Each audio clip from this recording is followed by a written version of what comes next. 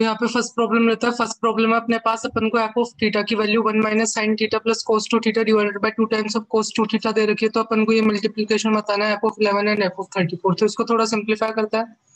यहाँ से सबसे पहले एफ़ ऑफ़ थीटा को क्या लिख सकता है? इसको लिख सकता हूँ, ये one minus cos two theta वाली टर्म है, उसको ऐसे लिख सकता है cos theta minus sine theta का होल स्क्वायर और ये जो कोस टू थीटा वाली टर्म है, इसको लिख सकता है cos square theta minus sine square theta divide में two times of cos theta plus sine theta and cos theta minus यहाँ पे cos theta minus sine theta ऐसे लिख सकता है। अब यहाँ से ऊपर से cos theta minus sine theta common लेंगे, जो कि कैंसिल हो जाएगा तो ऊपर क्या बचेगा? एक cos theta minus sine theta plus cos theta plus sine theta divided by two times of cos theta plus sine theta ये बचा अपने पास। यहाँ से ये और कैंसिल हो गया तो अपने पास सिंप्लीफाई हो गया cos theta divided by cos theta plus sine theta जिसको अपन लिख सकता है one divided by one plus tan theta तो ये अपन ने इसको सिंप्लीफाई कर लिया, फिर आगे देखता है। आगे अपन को f of eleven and f of thirty four का जो मल्टीप्लीकेशन है, वो निकालना है। ये जो टेन थर्टी फोर आएगा, उसको फोर्टी फाइव माइनस इलेवन लिख सकता है। यहाँ पे tan A minus tan B का फॉर्मूला लगा देंगे।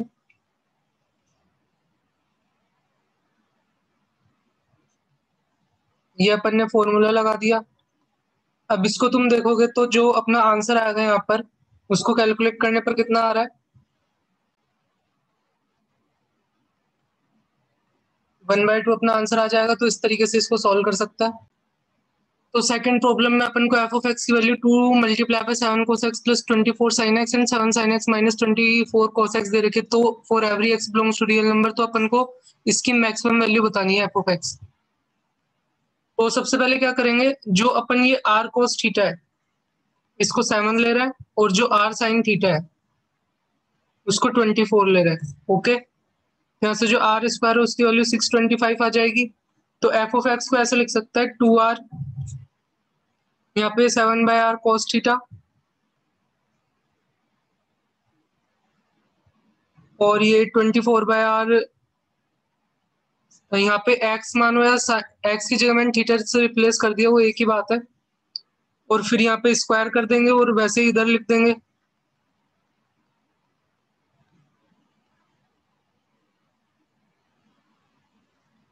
अब इसको आगे थोड़ा सिंप्लीफाई करता है।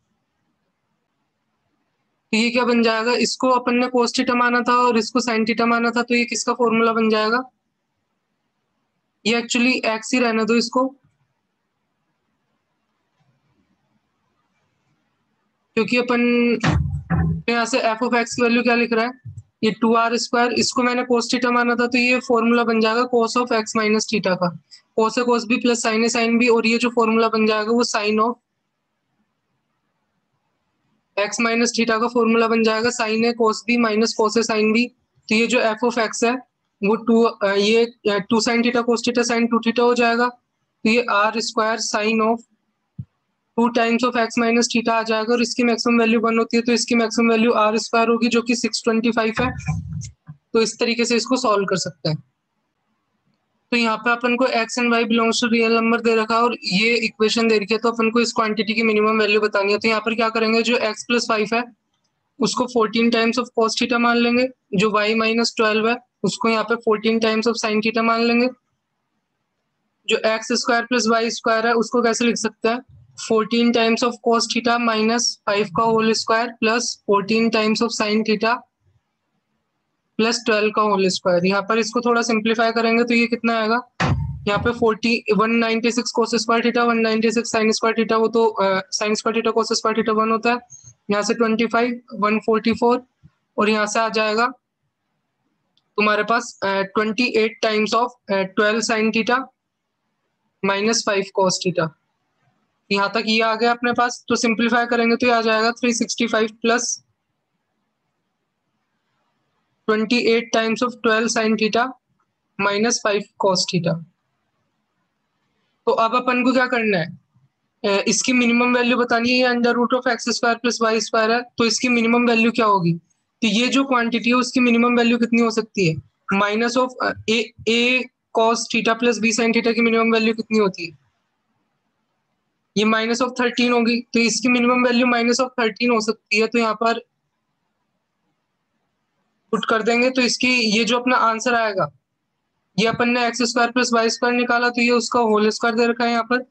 तो जो x square plus y square की वैल्यू अपने पास यहाँ से वन आई तो जो under root of x square plus y square है, उसकी वैल्यू अपने पास वन आ जाएगी इस तरीके से। तो यहाँ पे इस तरीके से इसको सॉल्व कर सकते तो यहाँ पे अपन को tan x plus tan y की वैल्यू फोर्टी टू दे रखी है, और इसकी वैल्यू फोर्टी नाइन दे रखी है। X for x and y belongs to real number तो अपन को इसकी वैल्यू बतानी है। तो सबसे पहले क्या देखता है? इस वाली क्वांटिटी को देखो। Cot x plus cot y is equal to forty nine दे रखा है। इसको क्या लिख सकता है? One upon tan x plus one upon tan y is equal to forty nine तो यहाँ से लिख सकता है अपन tan y plus tan x divided by tan y tan x is equal to forty nine तो यहाँ से जो टेन वाई टेन एक्स है, उसकी वैल्यू कितनी आ जाएगी? इसकी वैल्यू पुट कर देंगे। सिक्स बाय सेवन तो tan of x plus y का फॉर्मूला क्या होता है? Tan x plus tan y divided by one minus tan x of multiply by tan y इसकी वैल्यू फोर्टी टू दे रखी है और इसकी वैल्यू सिक्स बाय सेवन है तो ये जो अपने पास वैल्यू आएगी वो आ जाएगी टू नाइनटी फोर तो इस तरीके से इसको सॉल्व कर सकते हैं। तो यहाँ पर अपन को एक ट्राइंगल एबीसी दे रखा है, जिसमें एंगल सी की वैल्यू पाई बाय टू है tan A by two tan B by two इस इक्वेशन के रूट है, जहाँ a not equal to zero है तो अपन को a plus b by c की वैल्यू बतानी है, जो ए बी सी है, वो साइड्स ऑफ़ ट्राइंगल है। एबीसी क्या है? यहाँ साइड्स ऑफ़ ट्रायंगल है opposite to the angle ABC तो यहाँ पर अपन को जैसे जो समेशन ऑफ़ रूट है यहाँ से, वो कितना हो जाएगा? माइनस बी बाय ए और जो प्रोडक्ट ऑफ़ रूट है, वो कितना हो जाएगा? सी बाय ए तो अपन को एंगल सी की वैल्यू पाई बाय टू दे रखी है तो अपन को पता है ट्राइंगल में तीनों एंगल का सम पाई होता है तो angle A plus angle B की वैल्यू भी कितनी हो जाएगी? पाई बाय टू यहाँ पर angle A plus angle B by two की वैल्यू कितनी हो जाएगी? पाई बाय फोर तो tan of pi by four यहाँ पर इसके कॉरेस्पॉन्डिंग लिख रहा हूँ मैं। ये हो जाएगा tan of A by two plus tan of B by two divided by one minus tan A by two tan B by two यहाँ तक कर लेंगे। उसके बाद यहाँ से जो समेशन ऑफ़ रूट है, वो minus b by a put करेंगे, ये तो वन हो जाएगा, ये minus b by a and ये one minus c by a और यहाँ से इसको थोड़ा सिंप्लीफाई करता है तो one minus c by is equal to minus b by a और इसको यहाँ पर सिंप्लीफाई करेंगे तो अपने पास कितना आ जाएगा ये?